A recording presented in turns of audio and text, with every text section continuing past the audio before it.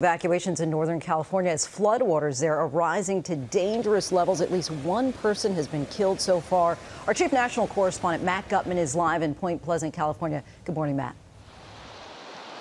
Hey, good morning, Lindsay. The speed of this rushing water you're seeing behind me gives you a sense of the volume here. That atmospheric river dumping historic amounts of rain that caused evacuation orders in this town just south of Sacramento. It actually caused uh, two levees here to fail, those flash flood emergencies, as you said, and across this area, hundreds of people requiring rescue. Houses engulfed. They had to be uh, plucked out of their cars as well.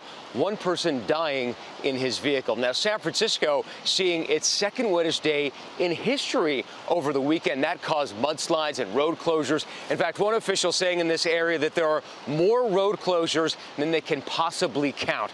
Now, that storm also generating snow in the Sierras